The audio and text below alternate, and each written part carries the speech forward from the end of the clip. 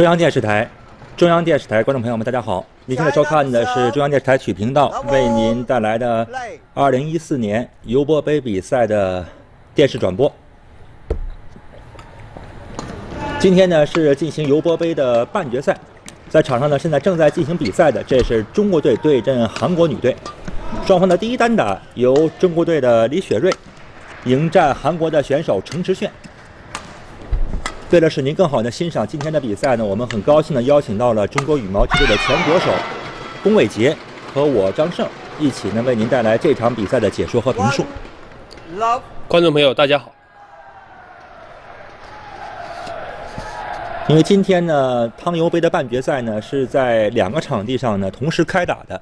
那么在一号场地呢进行的是汤姆斯杯的半决赛啊，中国队呢对阵日本队。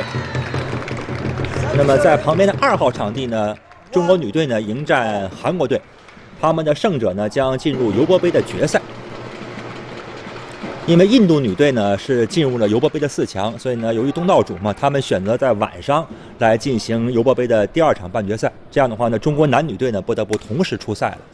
所以这场尤伯杯的半决赛，我们采用了录播的形式来为您做一个介绍。我觉得虽然比赛结果大概很多观众已经知晓，可是对于比赛的现状和呃发挥的一个状态来说，还是值得去欣赏的。特别对于一些爱好者，也更容易让大家学习到一些羽毛球的技战术，或者是某一个技术，帮助你得到一定的提高。嗯。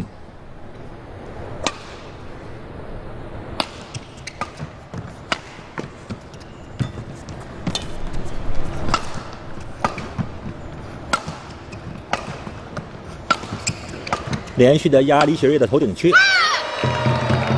然后呢，一个快速的点杀啊。开场双方选手的速度都非常快，嗯，很明显，虽然都担任第一单打，可是没有被压力所逼迫自己呢，迈不出脚步。嗯，这个球呢，李雪芮呢，在对方压头顶区的时候呢，这一拍球呢，回球质量不高啊，不够到位。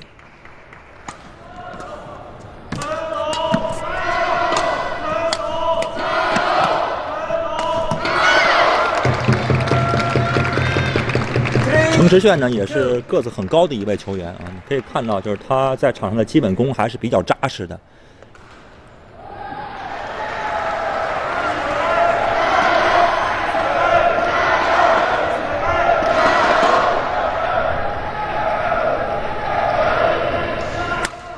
后场高远球。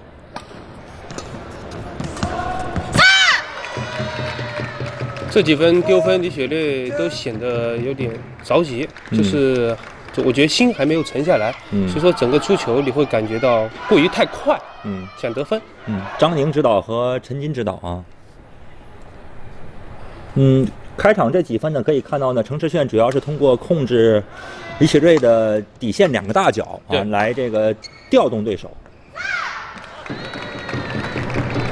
特别是对于李李雪芮头顶区的控制还是比较成功的。那么现在呢，就要求李雪芮呢打得更耐心一些啊，就不要嗯着急的去下压。对，虽然速度和进攻是李雪芮的特占优，对对，可是我觉得还是要放平一个心态吧。没错，打得稳一点，然后再找机会。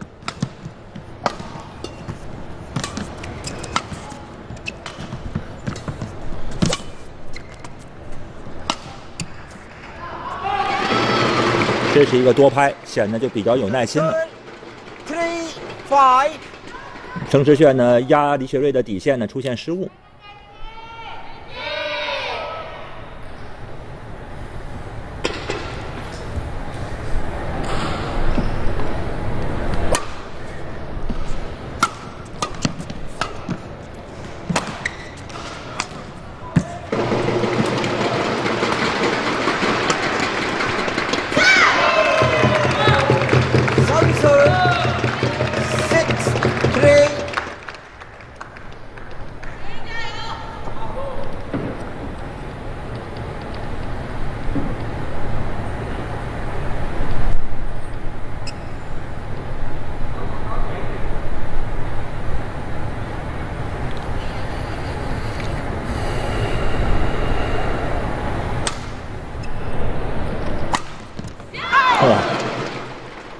接发球抢攻啊，正手劈杀对角线。Six.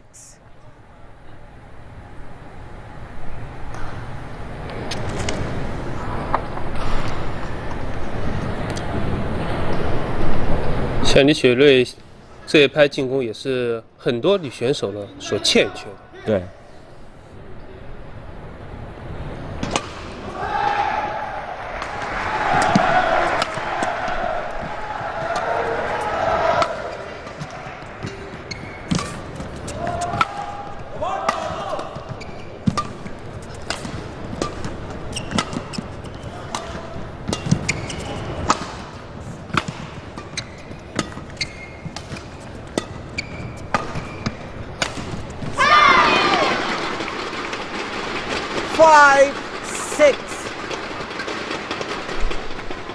就现在呢，感觉这几分呢，李雪芮呢就打的相对来讲比较有耐心了对。啊，就是在位置不好的情况下呢，不急于下压。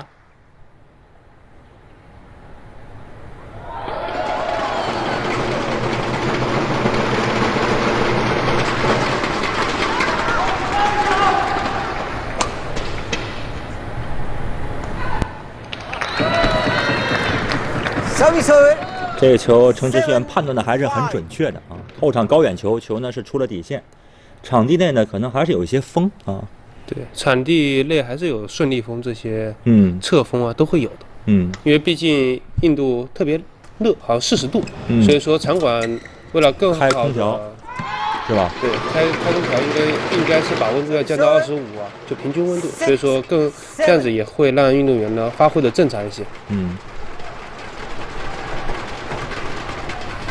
刚才是程志炫在头顶区呢突击直线啊，这个球要求的太高。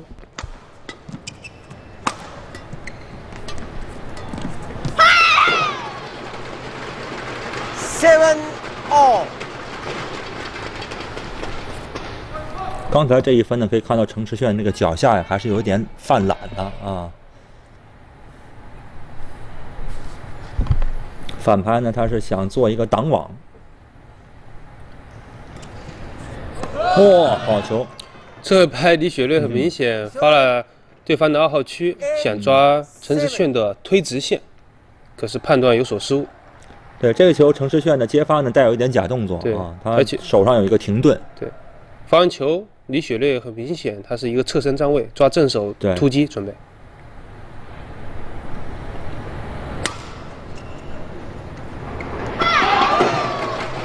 一人一个发球界外，Eight. All. 那之前呢，他发后场高远球啊，发到李雪芮的正手区的时候，被李雪芮直接劈杀，对打死一个。所以他心里会有一定的压力。没错，对，啊，这个发球呢就要求更高的一个质量。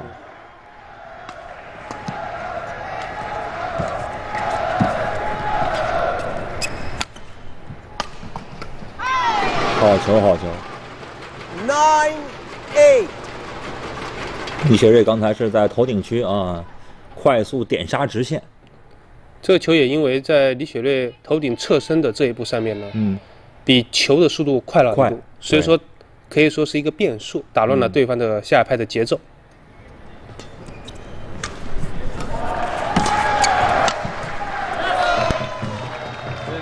这拍球其实跟前面李雪芮得分很相似，嗯同样的一个节奏。嗯。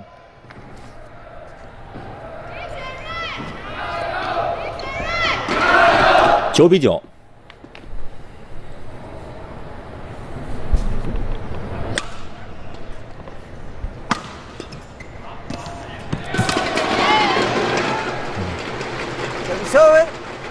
Ten.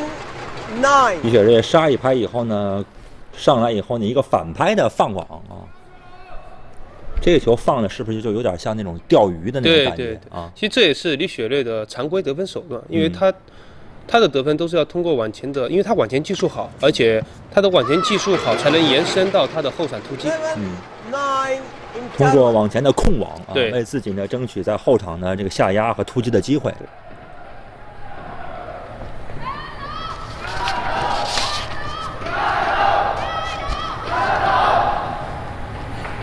李雪芮领先两分，进入第一局的局休。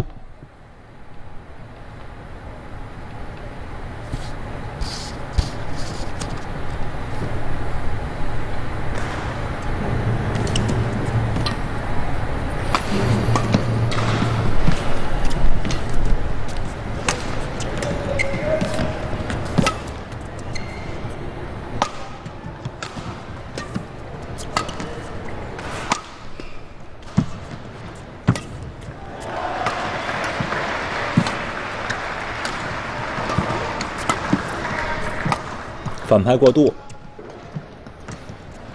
双方的速度都特别快，没错，尽用最快的速度打对方的漏洞。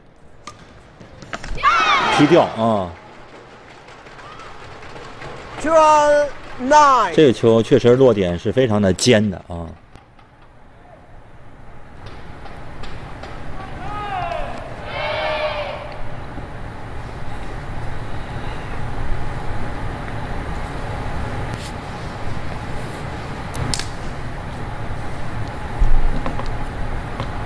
中国女队呢，历史上呢曾经是十二次夺得尤伯杯的冠军啊。虽然在二零一零年二零一零年，对输给了韩国队，对，可是紧接着一二年，一二年之后呢，又重新夺回来。可是现在的整个女队的实力是非常的强，每一分啊，我都觉得就随便换国外最强的选手都很难动摇我们。嗯其实我觉得这也就是因为失败寻找了胜利的根源。嗯，好球好球，Service over. 10 13. 这还是用这个接发球的假动作啊，骗到了李雪芮。李雪芮之前有过一次发短球想抢攻呢，结果都是这两个短球的战术看来都不是很成功。这两位女选手打比赛，比现在男子单打打的还要，我觉得速度快，对，而且呢更更直接、更果断。10. 呃，我觉得现在男单还是控球控的太多。对，现在女球员包括就是看李雪芮的比赛呢，就可以看到就是她的这种强力进攻型的这种打法啊，对，就一有机会就要下压的。嗯对，你也可以回想一下，呃，王诗贤，王诗贤一开始她也的打法还是更多偏向于拉开，嗯可是他随后呢，知道自己的就是一个弱点嘛，他嗯开始加强自己的整个进攻和场上的能力。嗯很明显，在解决问题之后，之后的这些成绩哎越来越好。嗯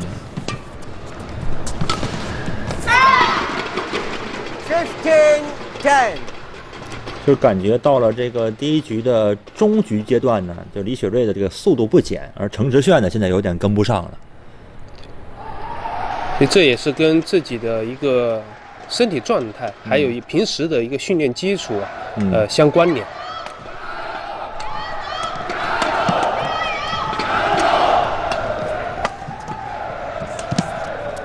速度非常快，对。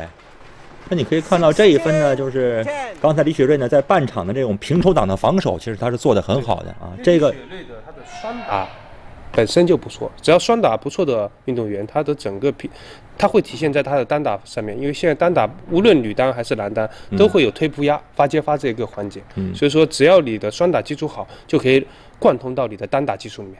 没错，因为李雪芮以前双打拿过全国第三的，对啊，所以他你看他半场的那些平抽挡都是得益于他双打的那个底子。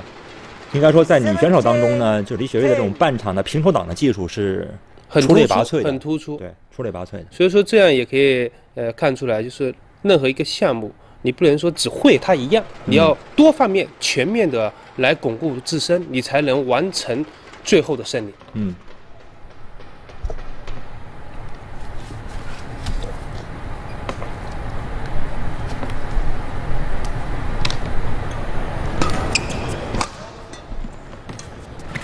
勾对角，压回对方底线，漂亮。嗯李雪芮的高球也是带有一定的攻击性，嗯，用快速的平高球拉开对方的对角线的速度，嗯然后进行下压突击。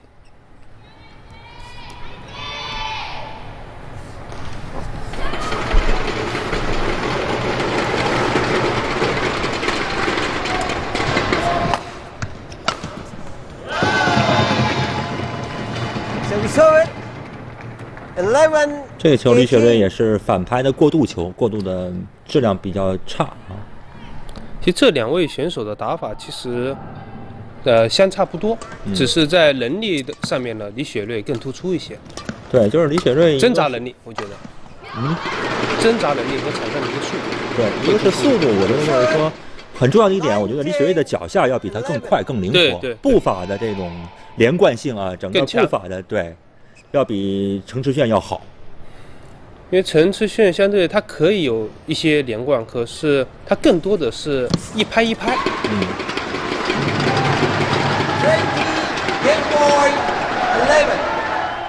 现在李雪芮拿到了第一局的局点，二十比十一。短球，很抓干脆推。突击啊，抓推突击啊。二十一比十一，这样李雪芮呢是比较轻松的拿下了第一局。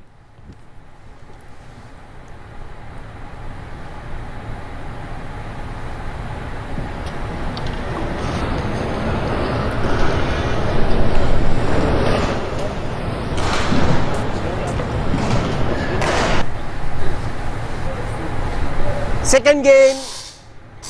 Love all. Play.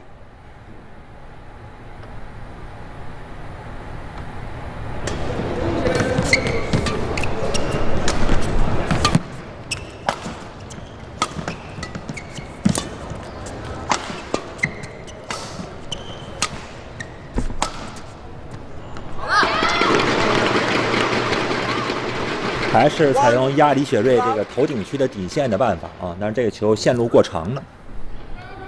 其实双方采取的手段，得分手段其实都差不多，只是李雪芮呢，她的失误率比较少。嗯，Serve. One all.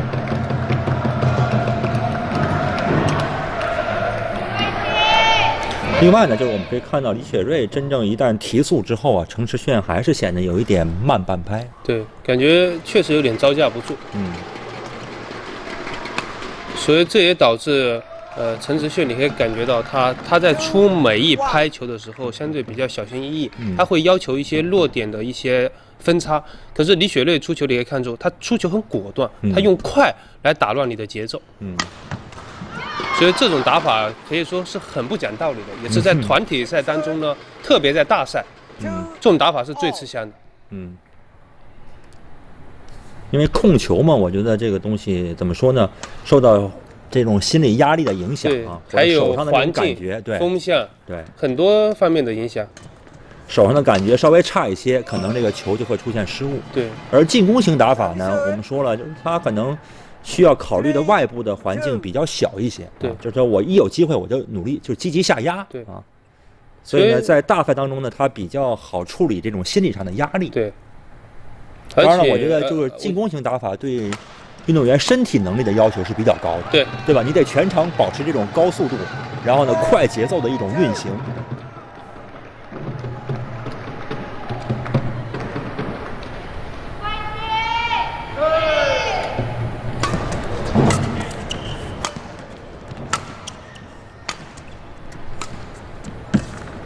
正手放网放的不错，漂亮漂亮，啊，这球放网放的质量很高了。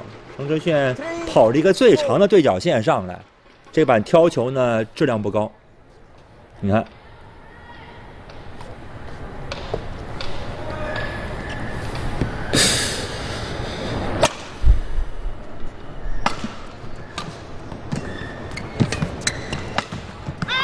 可以看出这几拍球很明显一个差距，叫李雪芮很快的在打球，嗯，他没有要求他的多少的落点，可是他要求了一个距离和速度。对，可你可以看出陈志炫他打球他是瞄着点在打，嗯。就他生怕打的比较就是偏李雪芮的这身体这一块，所以他的要求一高就容易界外。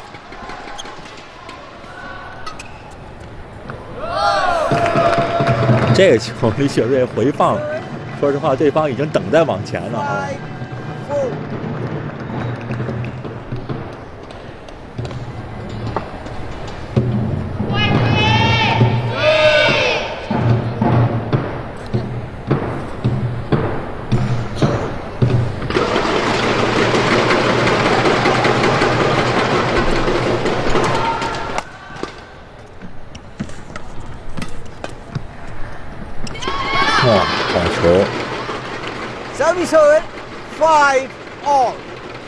这球程志炫有一点大意啊！其实李雪芮是在比较被动的情况之下，正手弹了他一个过网或过头，还是李雪芮就是判断的比较准啊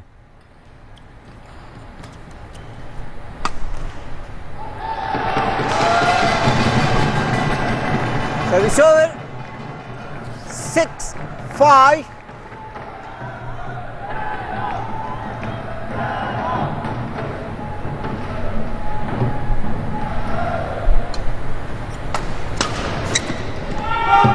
啊，可惜了。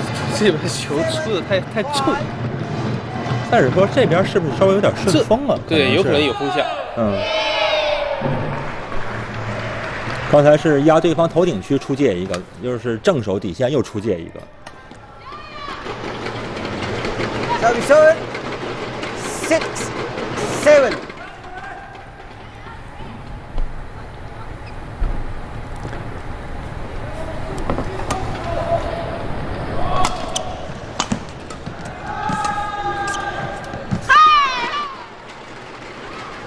7 all.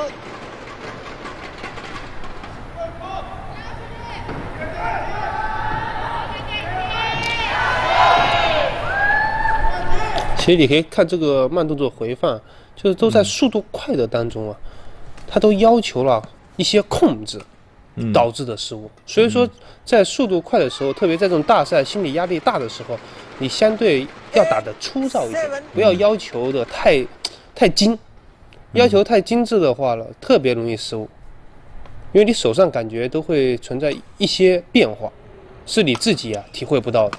嗯。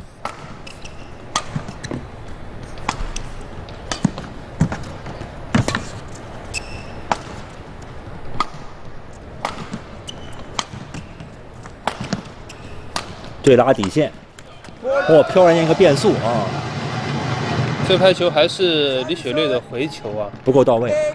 不过到位的同时呢，他还想着用平高球来限制对方，嗯反而被对方抓了，因为他这拍球出的特别快。嗯。嚯，这一这一拍打完，我们看程世炫这个体力消耗也是挺大的。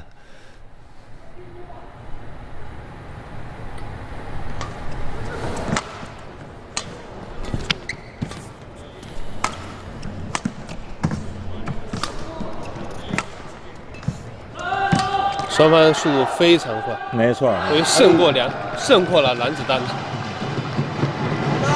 这球李雪芮判断上出现了失误啊。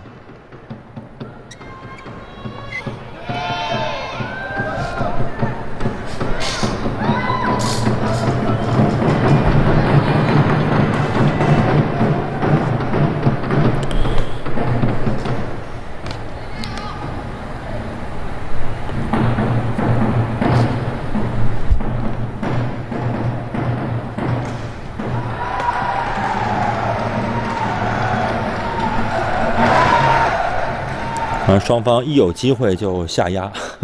对，速度非常，而且都是用平平高球来限制，对，所以双方都是打进攻的选手。嗯，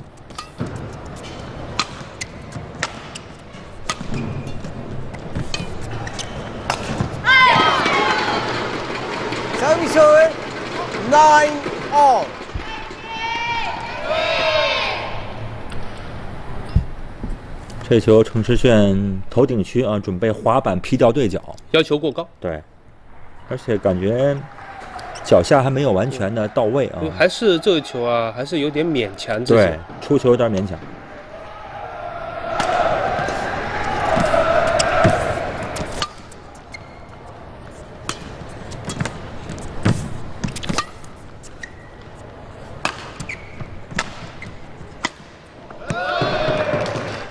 非常漂亮一拍下对角.啊，这个球路其实李雪芮已经抓到了，特别好对，抓的其实挺死的这一拍啊，但是自己最后下手的时候稍微偏了一点，太狠了。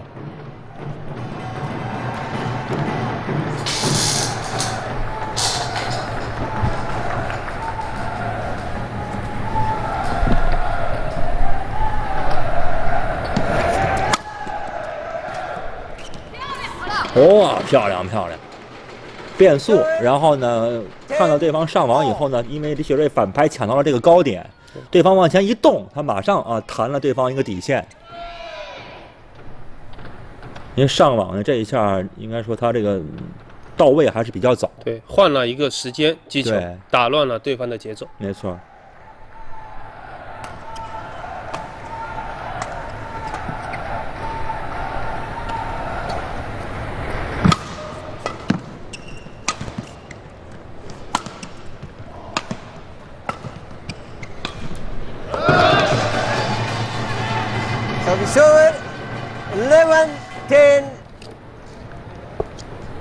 李雪芮要求换一个球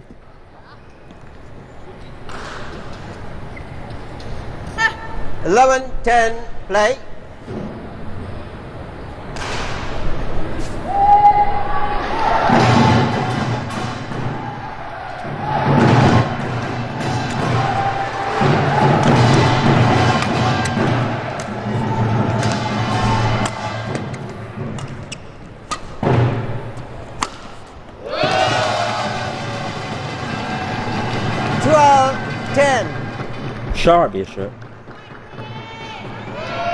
这球我觉得李雪芮的球路也是被程池炫呃猜到了啊抓到了。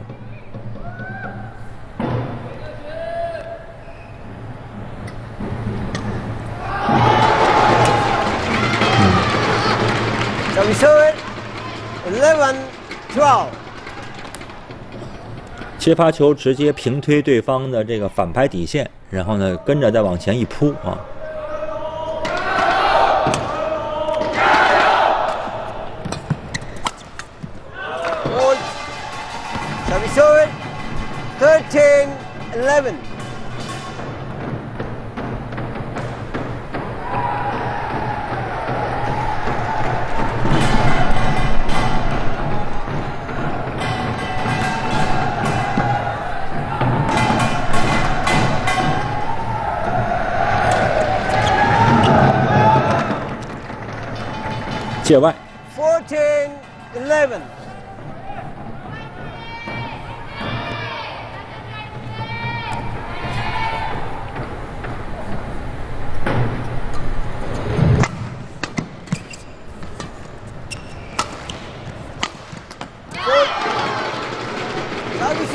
对于李雪芮来说呢，现在一方面呢是要就是控制一下自身的失误啊，另外一方面呢还是要争取机会呢，能够率先上手啊，用进攻呢去压制对手。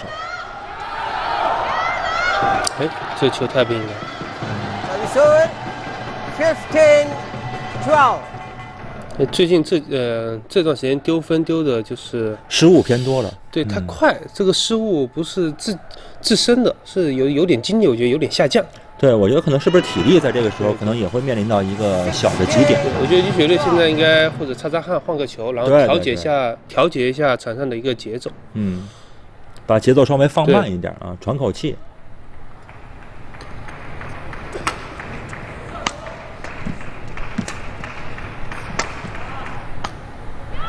嗯，So we saw it.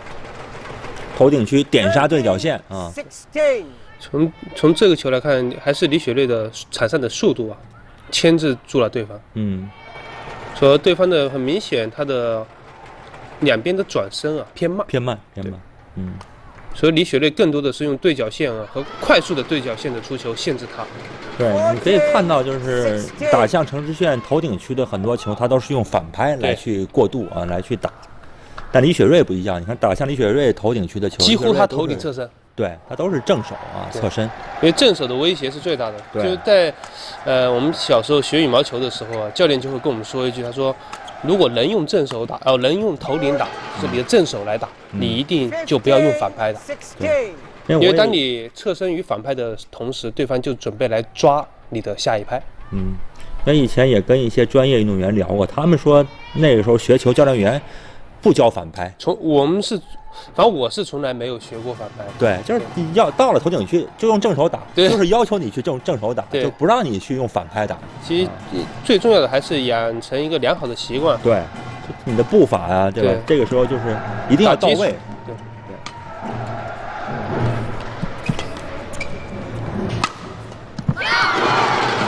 这几分追分体现出李雪芮啊，李雪芮现在的整个状态有所就是往回拉，对，你看，就是他可能顶过这段极点之后，整个的那种连贯啊，速度又都加起来了，对啊，速度提升了，然后连贯现在也连贯的更加紧凑了。对他的很明显，他的眼神和他的精神状态啊是很集中的，嗯之前有点分散。嗯，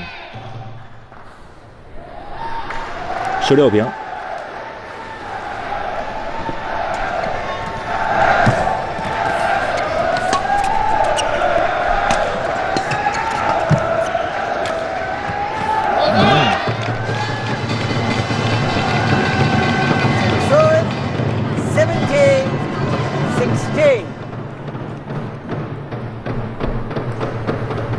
李雪芮呢是来自我国重庆的一位球员啊，后来加入了这个南京军区羽毛球队。反拍搓网好球.搓放网啊，Seventeen. All.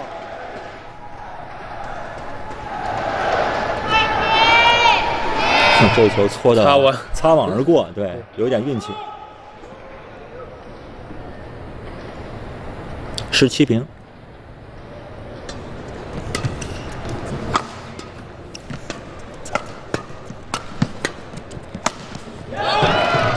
这拍反拍抽对角太勉强，而且他女队员现在已经被对方压到身后的球啊，他没有这个力量打到对角，弹到对方底线是比较深的如果这个球他在前面一点处理，我相信这球肯定能弹到对角。嗯。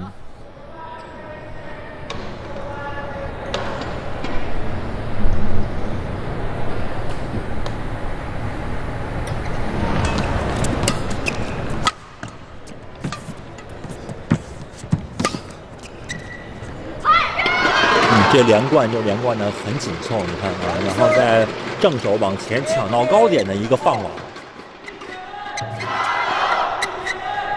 林丹啊，田厚威。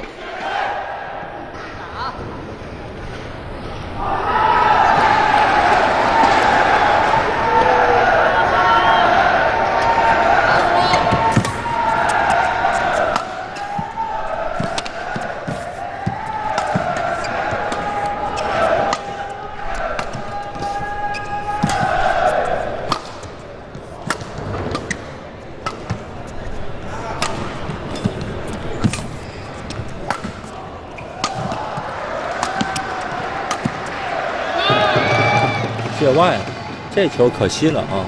他前面李雪芮一直防的不错啊.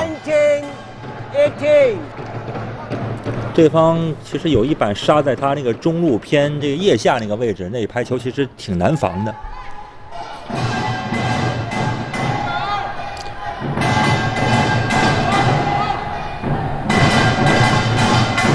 十九比十八，程志炫领先一分。短球抢攻，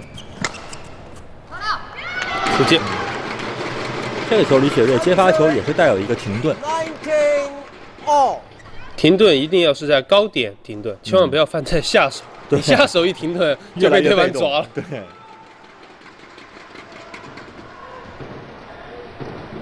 十九平，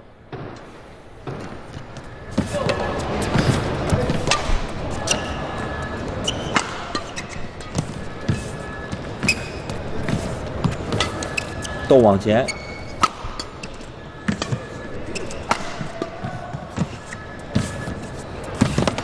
哇，漂亮！差一点，这个球，陈世健刚才反拍呢，在中前场抢到了高点那个位置啊嗯，他是拨了一个斜线，但李雪芮这一下更精彩，我们看反拍勾对角，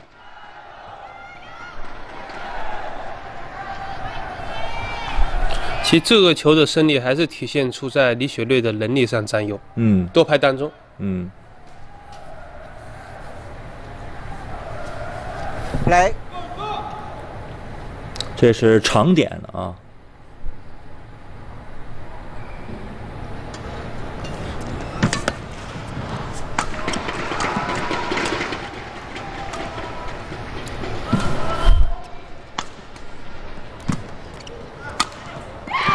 漂亮漂亮，漂亮！二十一比十九啊，这样李雪芮呢，第一女单的较量啊，双方第一单打的较量。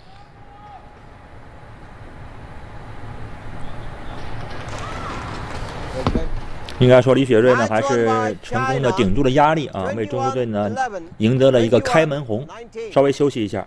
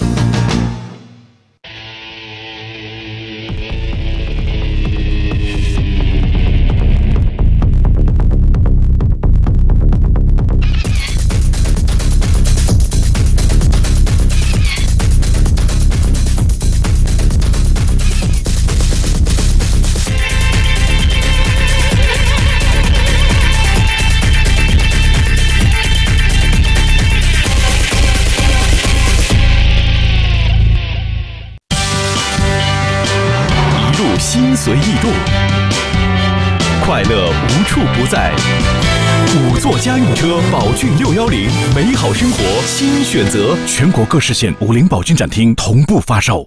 匠心营造，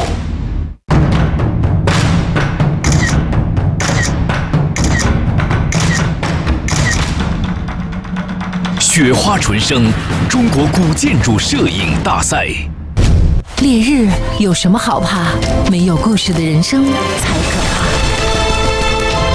蝴蝶仿生双重防晒，探路者皮肤风衣，勇敢晒出，让心透气。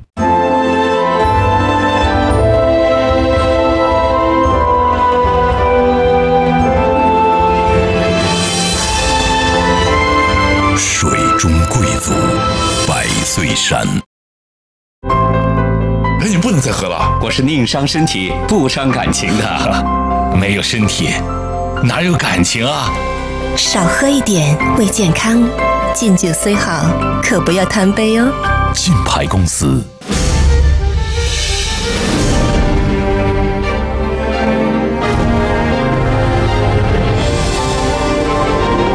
软型专家，二零一四 Outback 傲虎 Super。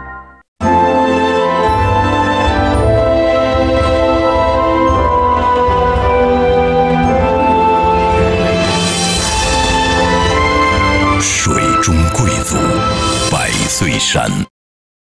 看得到的雅致，看不见的细致，驾驭一切原动力，为懂得生活的你定制意式风尚座驾，飞翔广汽菲亚特。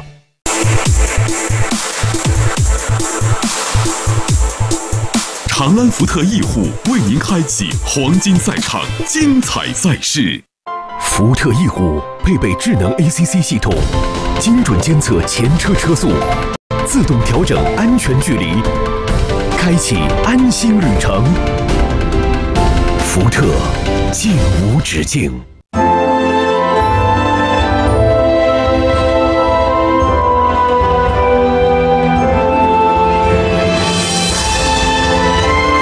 水中贵族，百岁山。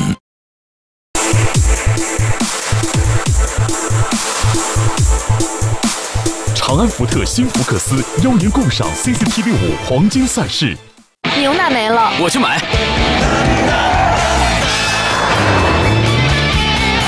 买牛奶要那么久吗？新福克斯引发无限假想，福特竟无止境。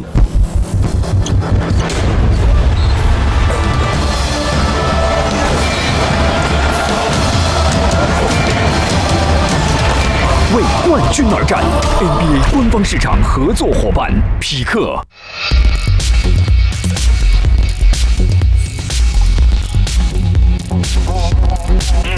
玩全不同，城市 SUV 领航者，东风标致二零零八光芒耀世。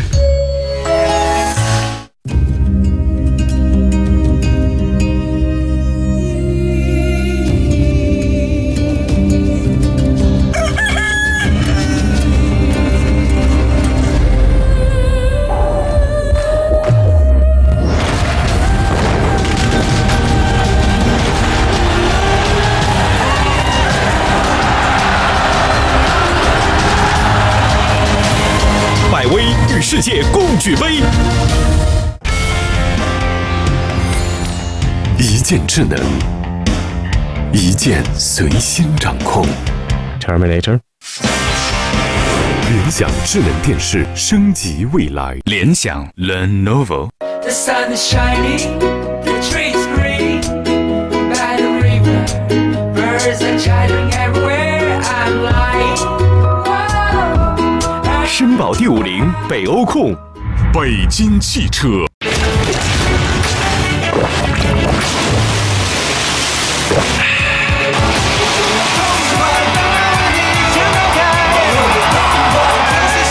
够痛快！康师傅冰红茶，冰力十足。中国心，中国情，中国梦。重要时刻，我只穿中华历领。七排。看得到的雅致，看不见的细致，驾驭一切原动力，为懂得生活的你定制意式风尚座驾，飞翔广汽菲亚特。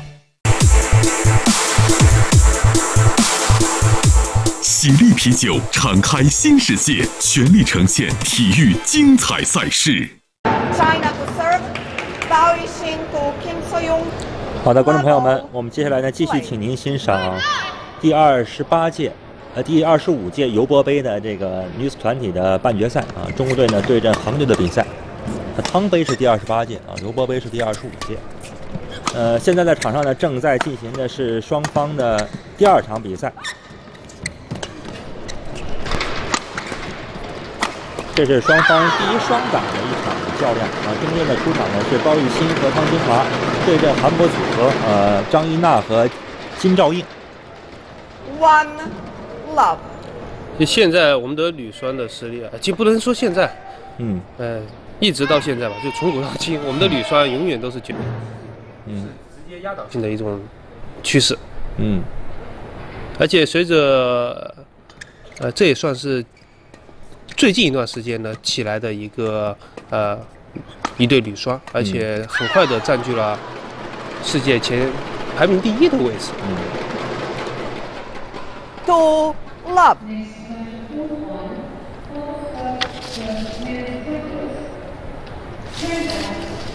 发球的这是鲍玉鑫啊，后面的那个呢是汤金华。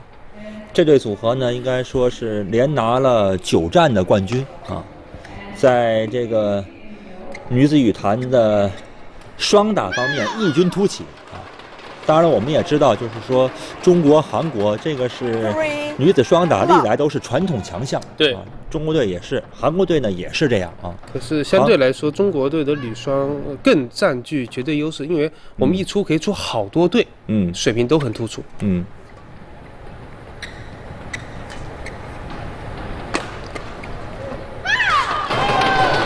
而且包玉鑫跟潘金华的这对配对也也是很鲜明。嗯包玉鑫总还是主要负责了去后场。包玉鑫其实在中半场中半场啊，包玉鑫啊，对，汤潘金华主要华呢后场，后场的和对中半场的处理比较强。嗯。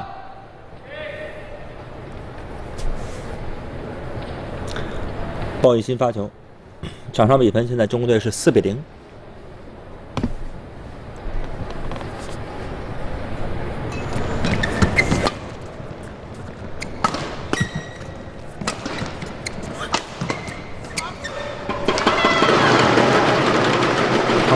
杀球还是非常重的啊。所以真正一能培养，就一对好的双打能，就是到世界前几名，他一定是一个进攻，一个负责做球的，嗯不可能说两个都是做球的，或两个都是做进攻的。嗯。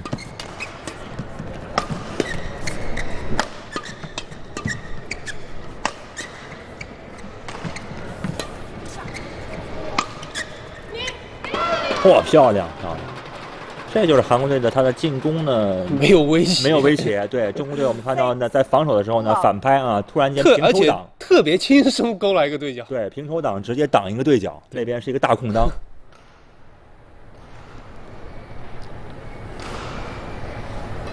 鲍玉鑫、汤金华开局不错啊，六比零。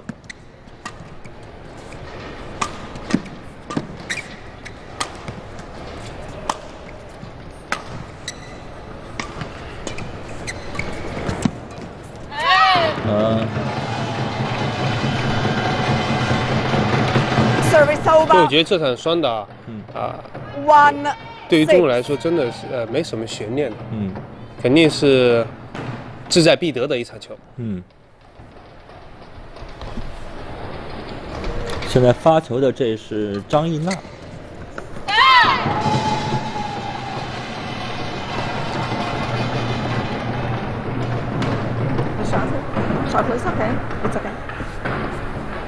我们在接发球上面还是要出的果断，不需要太多的停顿。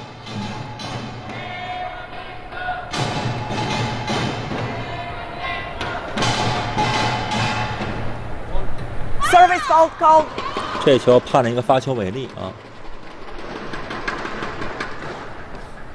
其实至今啊，我都不知道发球违例如何来分，就是来分辨这个是否是否违例，所以这个嗯真不好说，说不出来。嗯，这个主要是要看发球裁判他的感觉啊。对还是他觉得你看裁判这个对。他觉得你违例就违例。这一分呢，就是我们可以看到对方接发呢推扑过来以后，中国队回球的这个第三拍的连接啊有点软。对，你看这个球就是出的不够。对他又想打中路球，又想推，所以嗯造成了球偏高。嗯。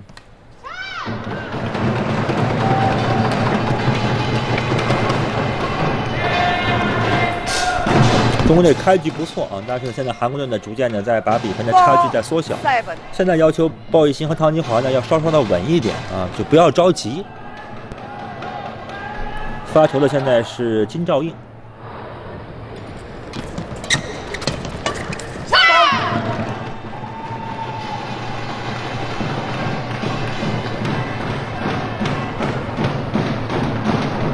Five, seven. 这段时间我们可以看到韩国组合呢，他们在这个中前场的速度还是挺快的，利用发接发这个环节啊，对中国队呢有所压制。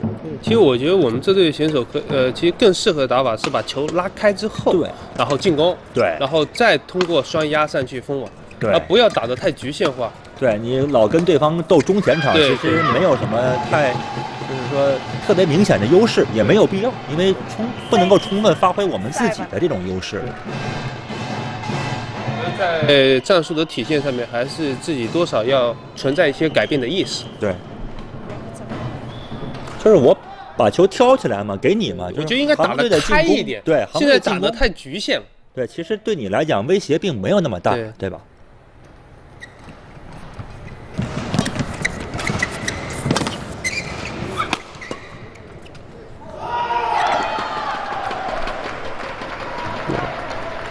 裁 判判接外，出界了，嗯，那汤金华自己还是要注意，在后场进攻完的下拍的连贯，连贯连贯，不要停，因为这个场地是有风向的，对，刚才那个你也说不准。对。所以很明显，他在放掉这个球的时候，他在等裁判。对，有点犹豫，他也有点犹豫啊。这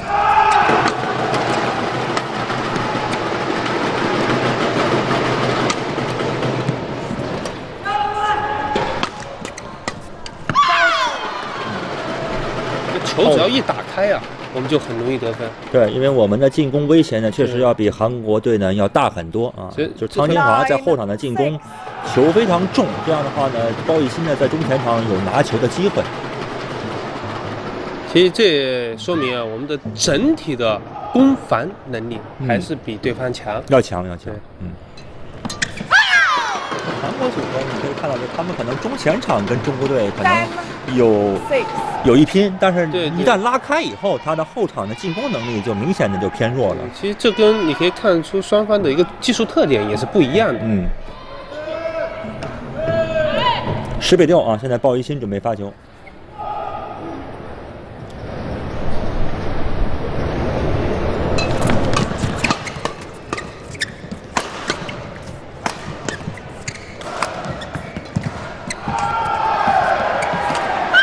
好球，好球！Eleven. Six.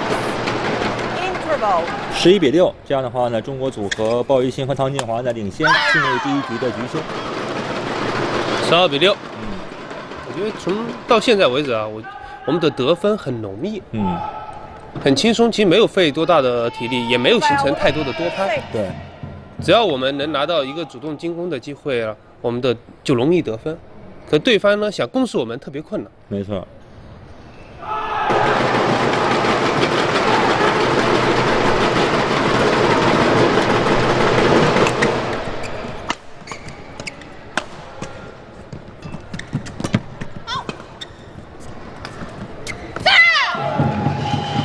才正手球好像是有点偏界外，对，我潘金华还叫了一声“凹。出界，对对对可能，但是同伴还是把这球挑起来对。了啊。对方在底线的一个收掉，我们再看一下，就这一拍推，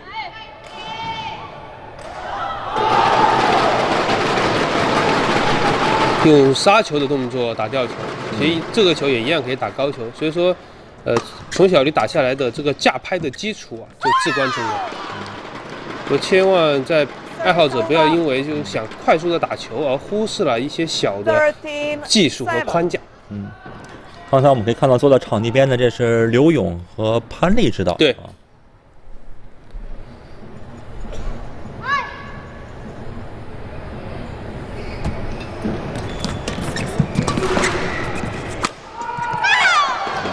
我们的进攻还是很凶，非常凶，嗯，杀了一个追身，对方很难招架。嗯，Fourteen seven. 确实我们可以看到这汤金华在后场的进攻啊，这个球速非常快，很有力量。汤金华发球，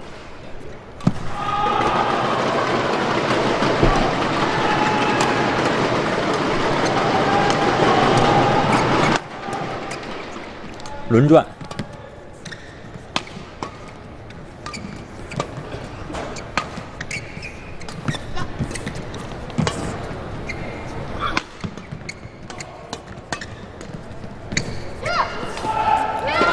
好的，上来以后，汤金华这个反拍的抢放网啊，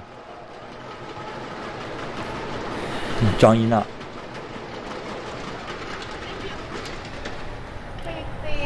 那这球就可以看出啊，我们在力量和速度上面还是强于对手，嗯，很扎实，嗯。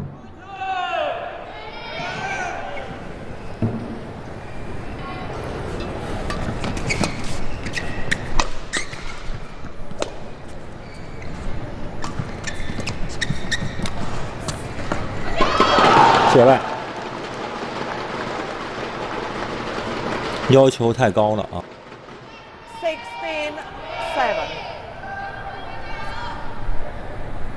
其实，在刚才我看了一下 CCTV 五八的一个数据啊，说关注滩油杯的用户啊，它有百分之五十五以上都是在二十岁到二十九岁，嗯，三十岁到四十九岁的人群比例占百分之二十五，嗯，这就说明现在喜欢羽毛球的年轻人是越来越多，嗯。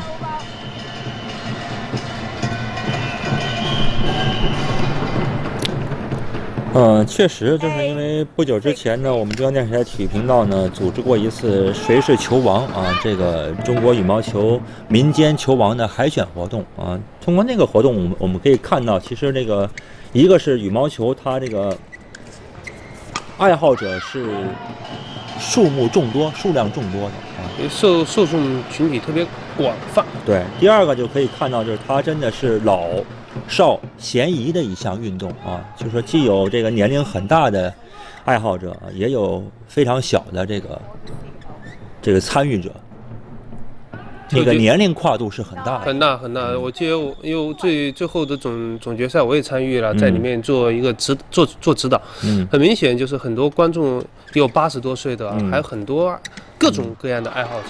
嗯。Service over. 嗯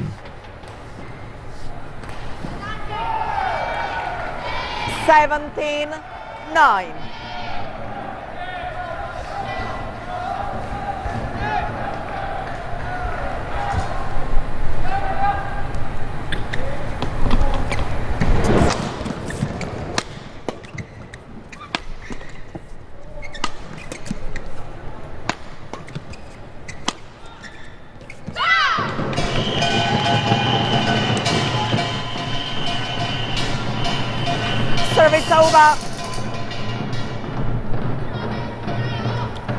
这个球我们可以看一下中国队就是轮转然后这个球汤金华在往前其实应该去封对角线啊其实这也看出来啊两个人的差别嗯。如果说是他鲍于心在往前的话这个球肯定拿的比较稳定呃我们回顾一下其实我们看在俱乐部总决赛的时候啊，嗯或者在其他的汤金华也有打过混双，嗯很明显他在往前这一块他还是信心不足，没错所以说在出球上面呢和下拍的连贯上面判断一。可一旦他到了后场，他的整个自信心呢就能体现出来。嗯。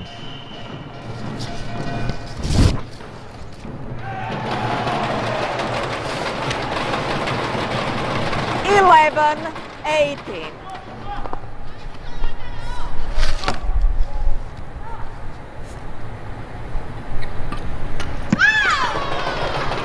Service over. 19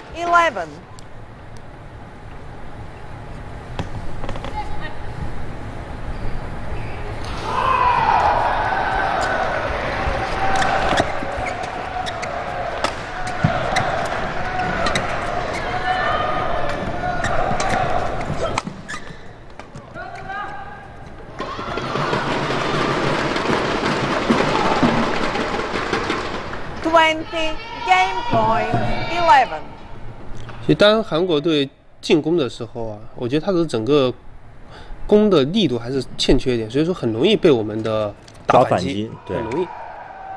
线内二十一比十一啊，这样的话呢，鲍玉新和汤金华呢又拿下了，by China 21 11.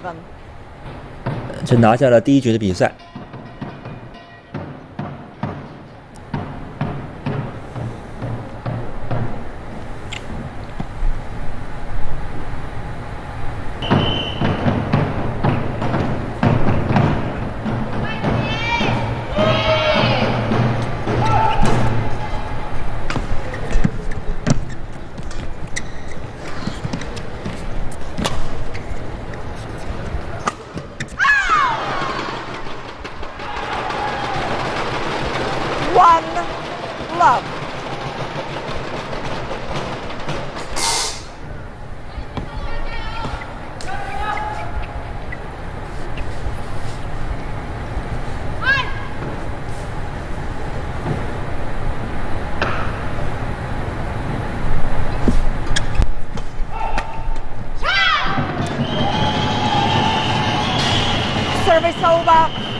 就是韩国组合，我们可以看到他在这个中半场的球速度还是比较快的，连贯衔接的都不错。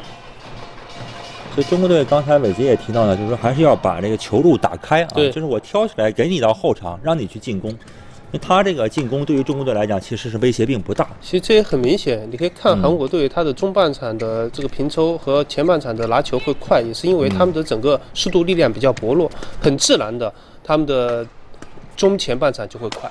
嗯，中国队打成轮转啊。可是像这样的打法呢，如果说想取得就是最终的胜利是比较困难的，因为它不具备全面。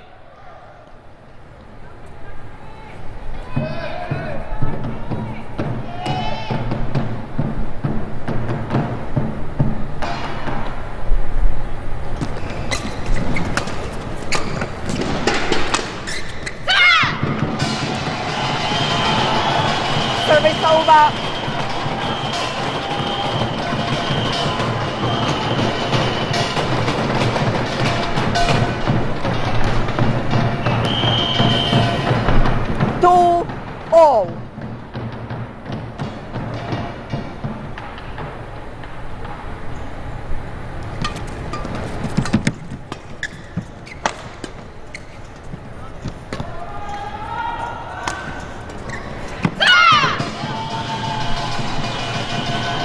个轮转的失误。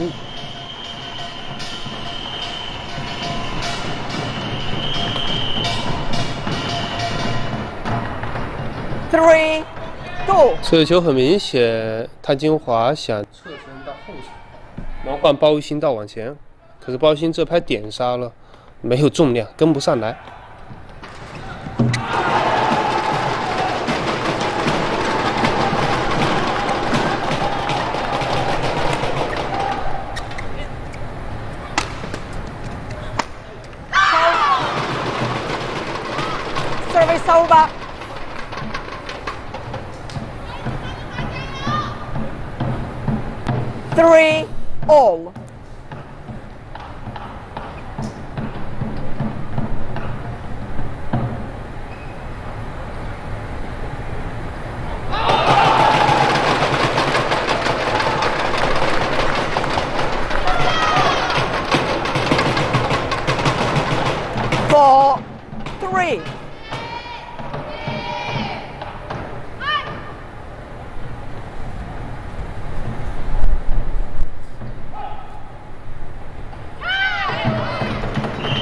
这球发球有点着急.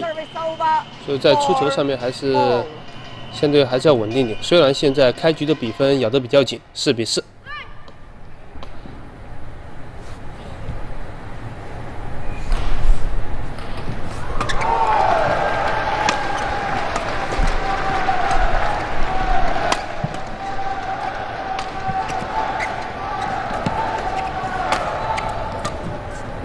首先很明显，大家可以看到韩国队尽可能把包玉鑫留在后场位。对。所以也是很明显，汤金华呢给韩国队造成了很大的威胁，特别是他的进攻。韩国队失误了啊！Service over. 张怡娜，韩国队现在采用的战术就是打乱你原先的战术意图，嗯，打乱你的站位，那你最擅长的呃技战术无法发挥。嗯。但是其实从整体上来讲呢，就中国队这两个人呢，就是都挺全面的。对，鲍这个 汤金华和鲍玉鑫呢，其实都是能前能后的啊。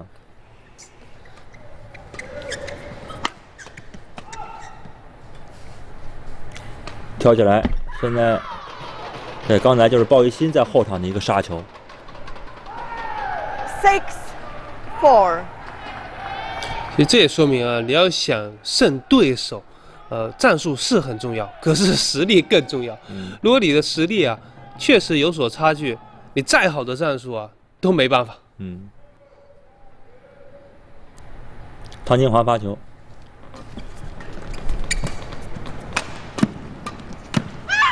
嗯，这球你看，这个鲍玉鑫的连贯就打出来了啊！连贯，然后呢往往前一压，其实给对方有很大的压力。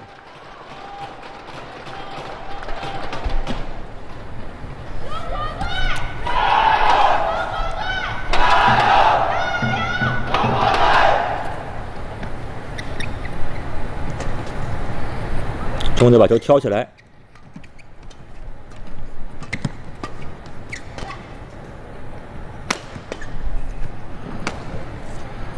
转入进攻。只要我们形成前后场的站位，谭金华在后场一般就得分。对，韩国队就有点慌，这个时候。我一般丢分还是丢在中半场的这一块。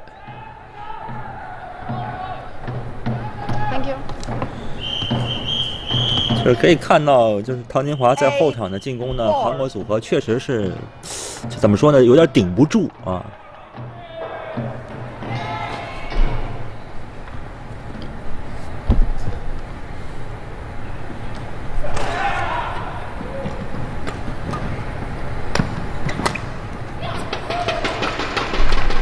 这球韩国组合两个人跑乱了，跑到一块儿去了。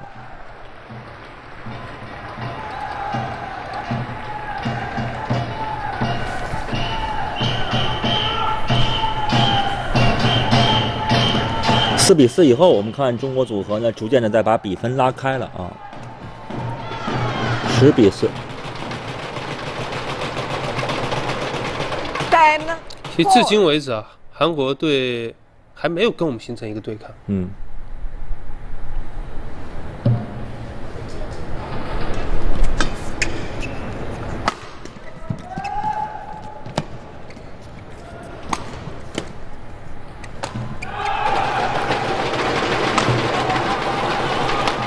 中队又打成了轮转啊，杀球，然后呢，同伴呢在中前场拿这个头顶，呃，拿这个直线。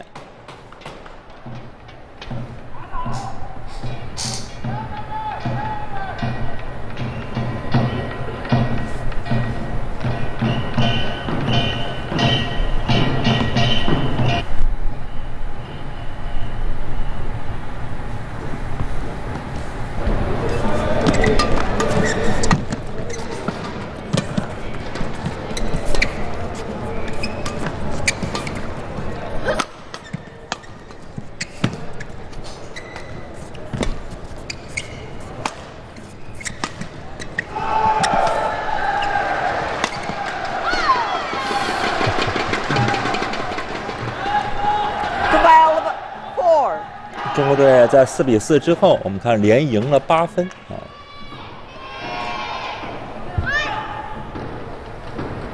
这个球嗯，汤金华的杀球杀到了中路，杀对方两个人的结合部。嚯，好球！！Thirteen four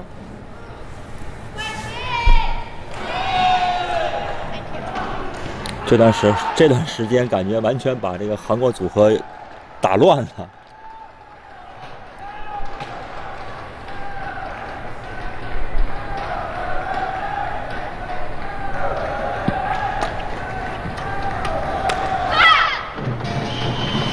Service over. 5 13.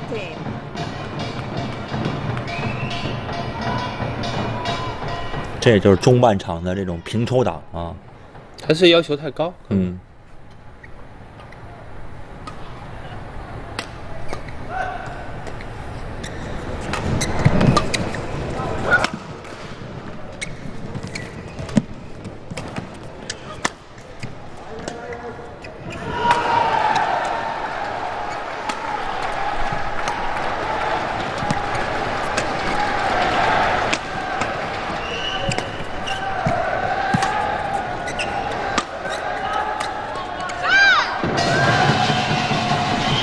这也是往前的同伴积极的这个跟进啊。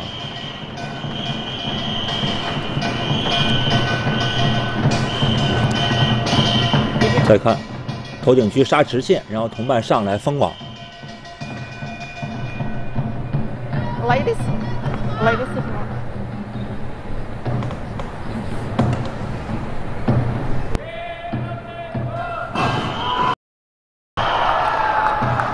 这是金兆燕。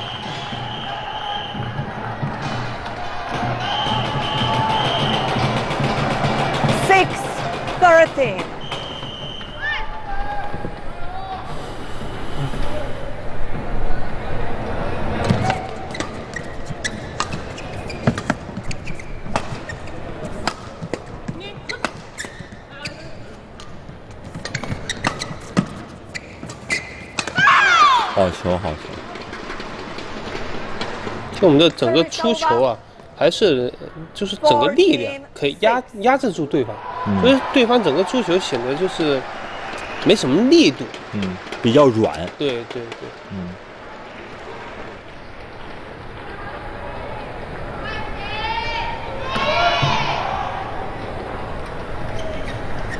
所以我觉得还是。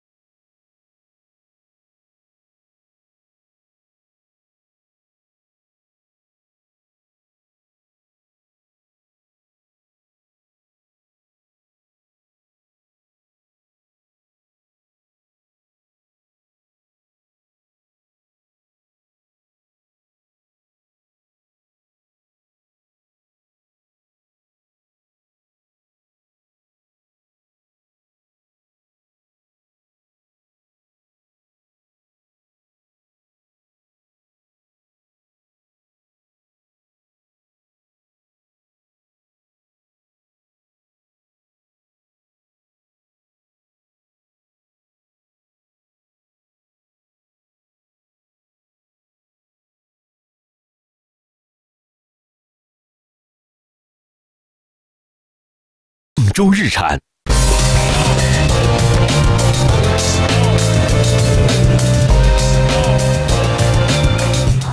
活在路上，全新 CIKER 气悬浮技术跑鞋，三六一度多一度热爱。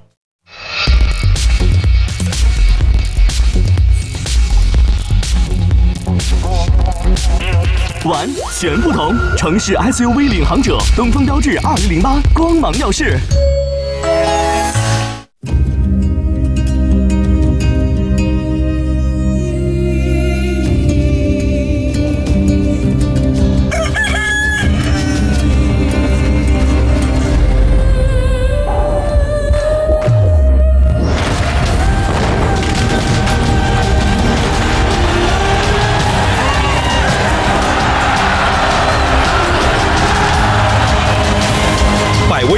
世界共举杯，一键智能，一键随心掌控。Terminator。联想智能电视升级未来，联想 Lenovo。The sun is shining, the trees green by the river. Birds are chiming everywhere. 绅宝 D 五零北欧控，北京汽车。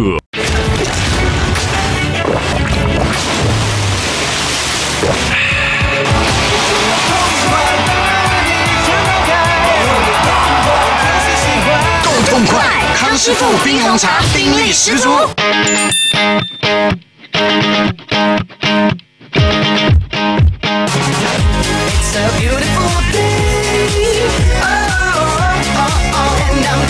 三星 Gear Fit，点亮我生活。看得到的雅致，看不见的细致，驾驭一切原动力，为懂得生活的你定制意式风尚座驾。飞翔，广汽菲亚特。好的，观众朋友们，接下来呢，我们继续请您欣赏今年这个尤国杯的女子单打的第一场的半决赛。这是由中国队呢对阵韩国队。现在呢进行的是双方第三场的较量啊。中国队呢出场呢是王世贤，对阵韩国的球员呢是裴延珠。前两场呢是李雪芮二比零战胜了程池炫，第二场呢是中国的第一女双包玉鑫和汤金华二比零战胜了韩国队的张艺娜和金兆映。目前呢大比分啊，中国队呢是二比零领先。王世贤如果能够拿下这场球的话呢，那么中国队呢将会锁定这场半决赛的胜利。对从前两场的比赛来看呢，其实没有对我们每一场比赛造成一定的威胁，其实赢得都算挺轻松的。除了、除了第一场的第二局，李雪芮是二十一比十九取得了胜利。可是从整场比赛的过程来说呢，呃，得分和或者是呃战术的意图都还是比较明确的。嗯。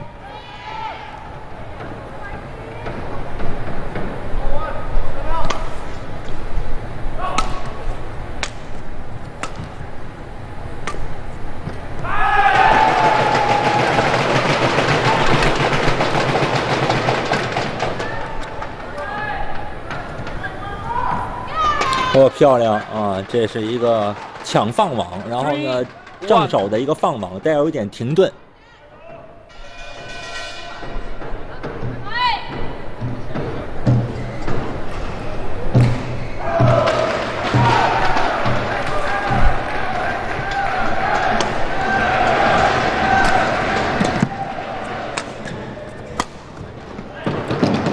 这个球攻的有点着急。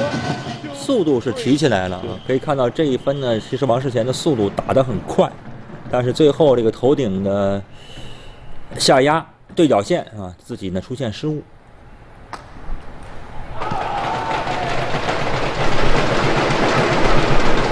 漂亮。球，王世贤的整个四方球的控制，嗯，还是非常的突出。嗯，他的，而且他现在自己也加强了自己一个能力和加快了自己的一拍重伤。嗯所以从整个场面来说呢，他还是现在是更加全面的一位选手。没错，因为感觉到王世贤呢，在今年呢，整个的表现呢，还是呈一个上升态势的。对，因为国家女队现在是就是单打方面好像是一对一啊，一对一的这个教练员去带。那现在陈金指导就是说对于王世贤的这个帮助也是挺大的。对，自从曾经呃任命为女单组主教练之后，嗯，呃王诗贤的成绩啊，很明显的得到了提升。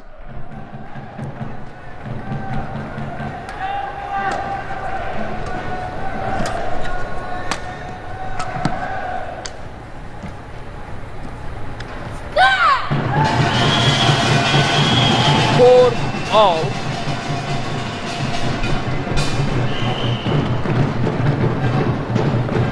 这个放网还是要求的太高了啊，差一点。嗯。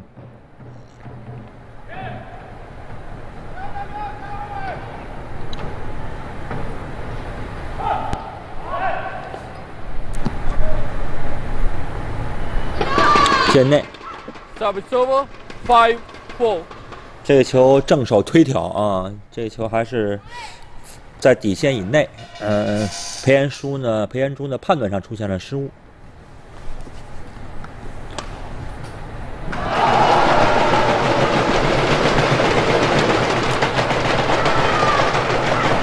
Six, four.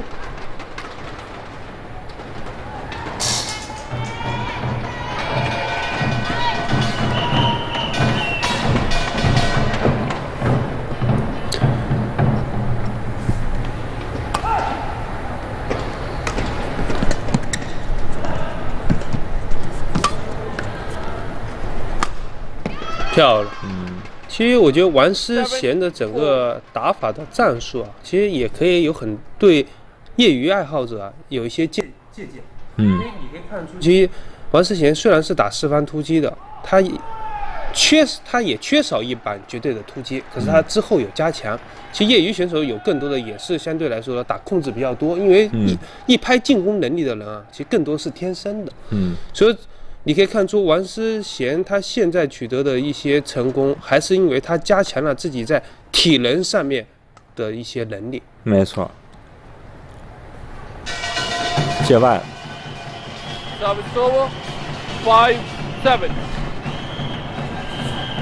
李龙大，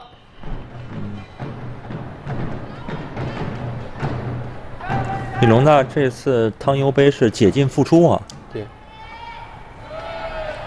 对，韩国队也花了不少力气。嗯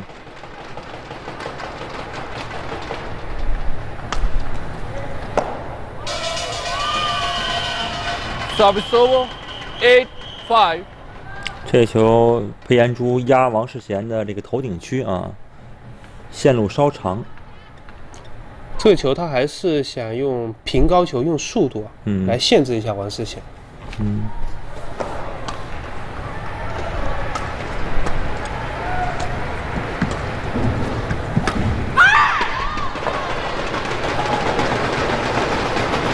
Nine, five.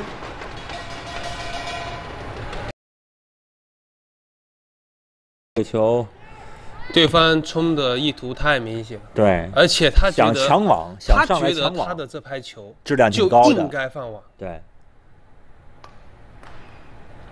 但是没想到呢，刚才王世贤是推挑了对方一个底线，界外了。Ten, five. 其实我们可以看到呢，就是裴延珠也是一个控制型的球员啊。可是相对来说，王诗贤比他更稳定。对，我觉得技术啊，他的技术控制能力更强一些。其实这也是中国队呃女子里面啊，就是一直都比较突出的一点。嗯，双方都用对角线来重复的限制对方.打对方的侧身，然后抓对方的过渡。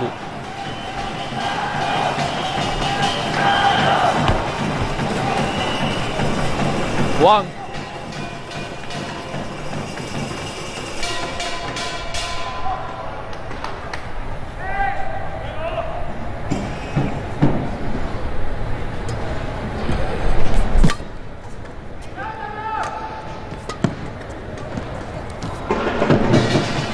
这球王志贤想吊一个重复落点，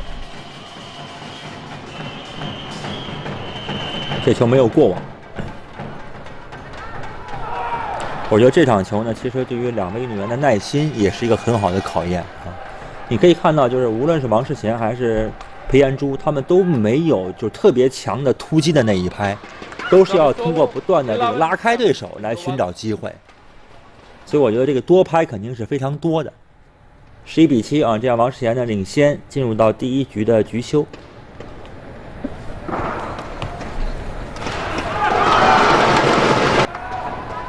那正向美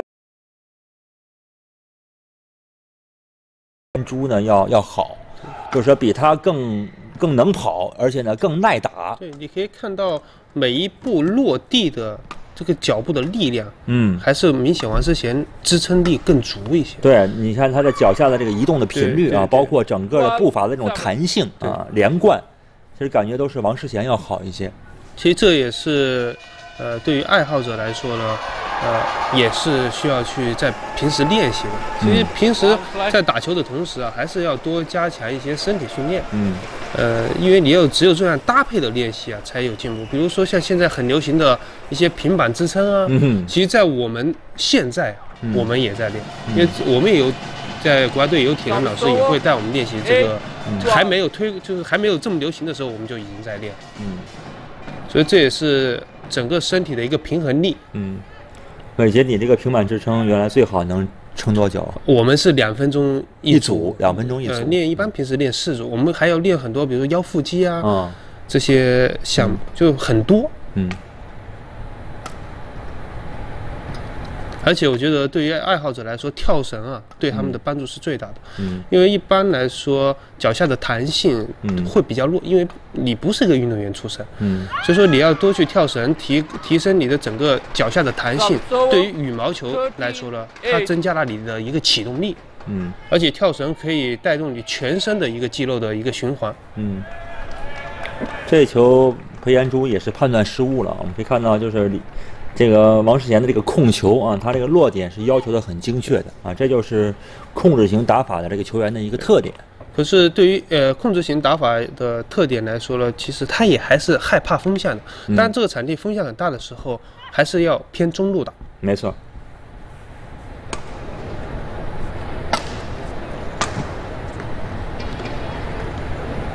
出界。嗯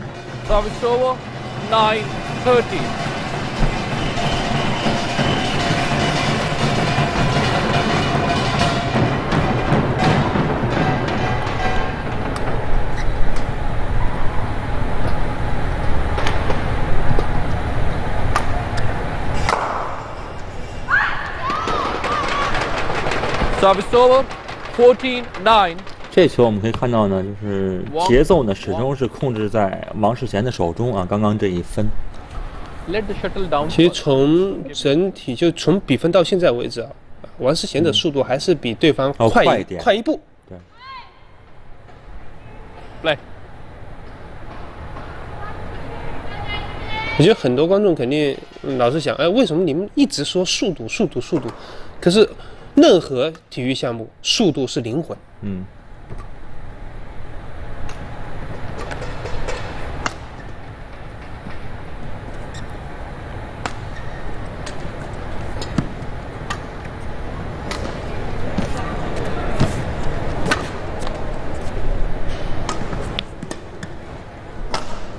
双方线还是通过对角线的一个拉开来限制对手。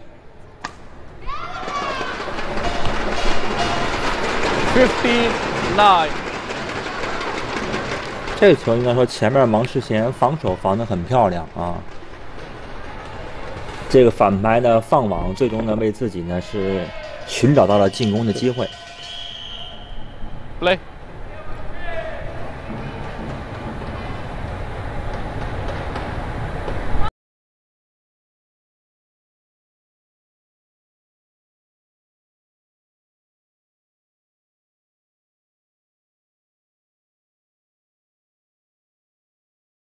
一下，出界。Sixteen nine. 反正现在呢，肯定裴彦珠呢是比较难受，就这个这个不知道怎么能打死对手，你知道吗？其实这就是这个东西，就是这样打团，就是打比赛啊，你没有一个武器能打死对手，就是观众也不知道你什么时候可以得分，不知道。对，你也不知道你能发挥到，就是呃发挥到几成，就算你发挥的很好，也不知道你可以在某个环节上得分。对这这就让人很琢磨不透、很难受的一个地方。对，你看现在就是可能裴彦珠也遇到这样的问题嘛，他现在就是不知道怎么来下分，但是呢，就对自己的进攻提出了越来越高的要求，你在那连续的出现失误，就感觉老也打不死对手啊。而且在打不死的情况下，你看王世贤的整个场上的移动速度还是快过于他，嗯，所以他是尽可能在跟着王世贤的速度。啊出界，Service over, 10 70. 这个球如果是进攻性球员的话，肯定就是下压了啊，我觉得如果是进攻进攻型球员，在前几拍就已经下压了。对，但是这个球是很好的机会，其实你看对方挑球并没有非常靠近算是底线，中半场。对，第二条线。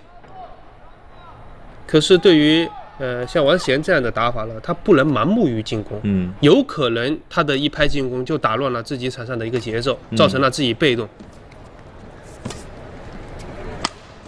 漂好亮球好球啊！这球反拍一个勾对角勾得很精彩，就感觉可能裴延书、裴延珠也是没有想到，因为感觉那个反拍的那个点已经比较低了。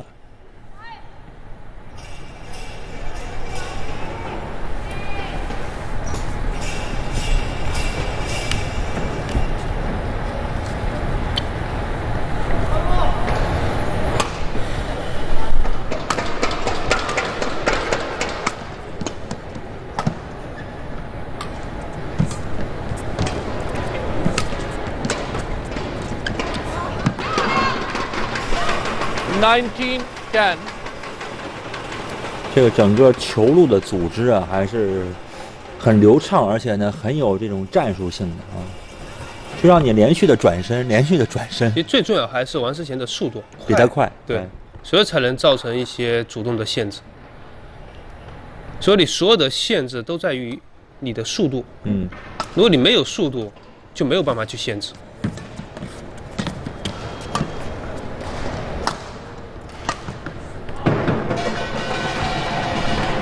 Service over, 11.19.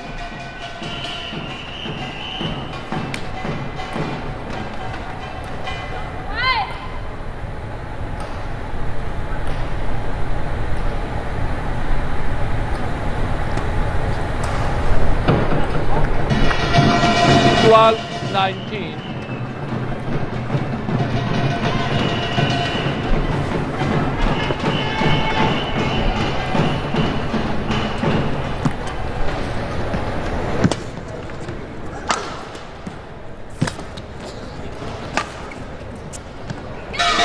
19. 界内 Service over, 20, game point 12. 这局呃大局已定，嗯，毕竟领先这么多分。这个反拍，刚才这个一个挡吊啊，还是相当的出色的。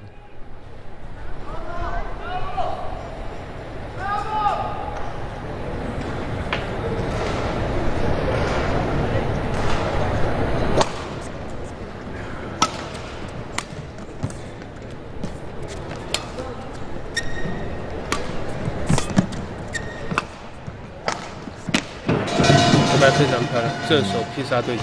Service over, 13 20.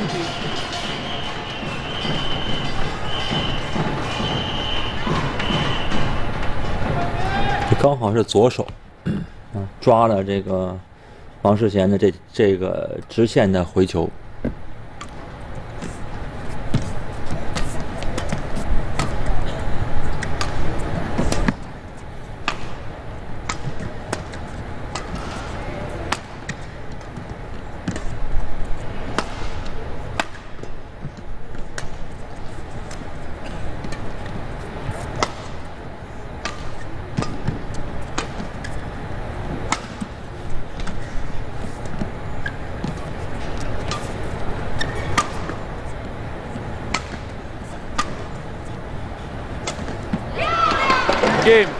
多拍啊，双方应该说在这一份上都显得很有耐心.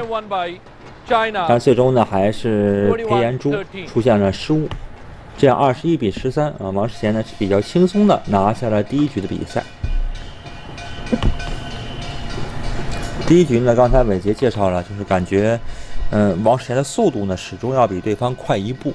对，啊、而呃，而且出球了，嗯，从速度上看出他的出球也比对方快，所以说嗯你可以看出，在整个场上的局面是王诗贤更多的是主动在处理球。嗯。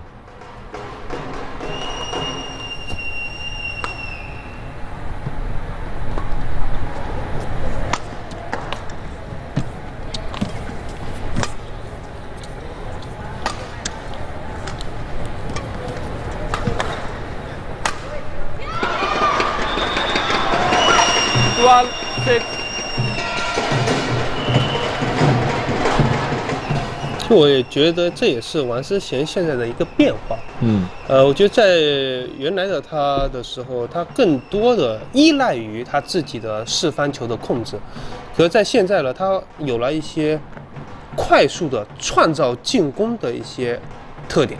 对，我觉得他现在就是一个是，嗯、可能步伐方面确实是有提高啊。第二一个，我觉得就是说，可能随着步伐的这种提升吧，他的连贯比以前更好了。你可以看一下，我觉得回顾一下他之前，嗯。像刚才这个高球，他出的是平高球快速限制，在他原来来说，他更多的是打抛弧线的球，那种高远球。对，然后对方进攻完，他再反手，然后通过反手的转换之后再进攻。就他现在会通过快速的平高球限制，尽快的下压突击，所以也丰富了自己的打法特点。嗯就是我们现在看到的这就已经是，呃，王世贤同裴延珠啊双方决胜局的比赛了啊。那第二局呢是裴延珠二十一比十六扳回了一局。Ball. Service over. 7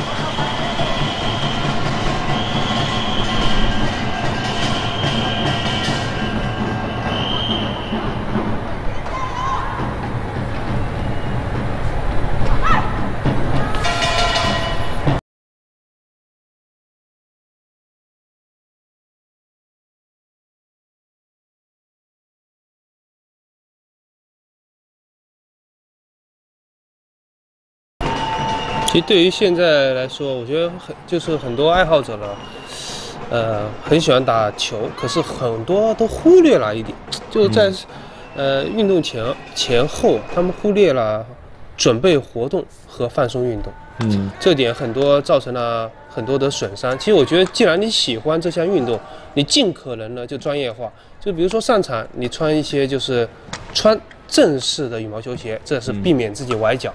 你呃运动前的准备活动呢，热身也是避免自己受伤。然后运动完呢，运动完的拉伸是帮助自己了的恢复，对于自己了也是一种责任。嗯，可是对于自己是责任的同时，对于你的家人也是一个责任。嗯。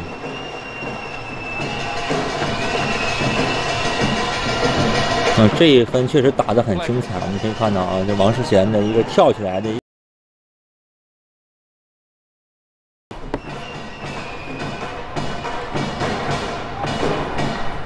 确实啊，这方面呢，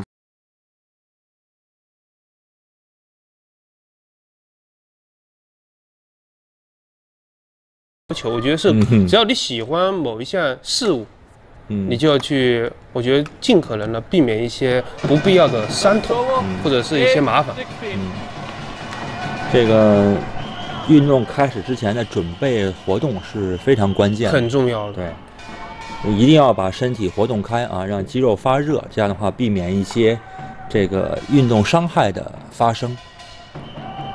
而且为什么说呃要练力量？力量呢是为了增加你平时就增加你现在的发力，因为你平时不运动的话，你的力量会超过你现在，所以你当当你把力量加强的时候呢，也避免一些受伤的发生。没错，像我们像现在你看这样大赛当中，我们每个运动员的做准备活动的时间啊，几乎有一个小时。嗯，做准备活动呢，一是化解你心中的一种压力，而且呢，让你提前热身，快速的进入比赛状态。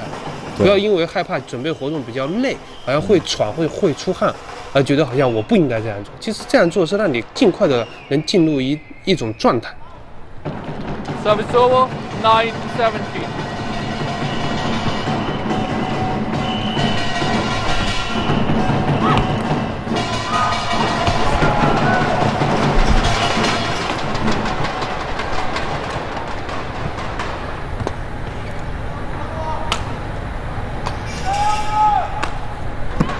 你看，就打到决胜局以后啊，王世贤这个脚下依然是非常的有力量，很灵活啊，蹬转啊，包括移动啊，都是很流畅的。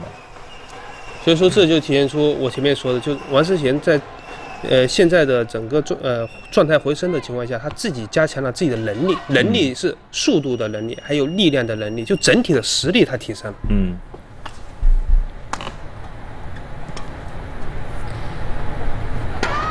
嗯，界内19 9.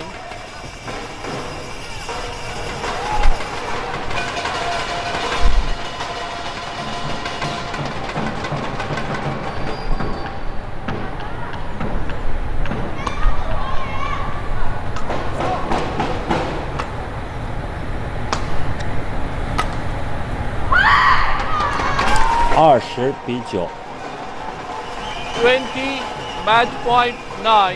其实王世贤啊，我觉得我跟他他跟王祖贤长得还挺像的，我还特地看过两个人的相片。嗯，赛点啊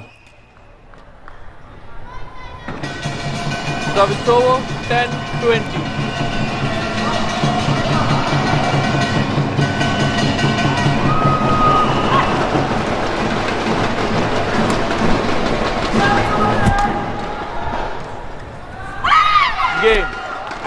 二十一比十，这样的话，王世贤呢是拿下了决胜局的比赛，二比一啊战胜了这个韩国的名将裴延裴延珠。这样的话呢，中国队的大比分是三比零战胜了韩国队，进入到了尤伯杯的决赛。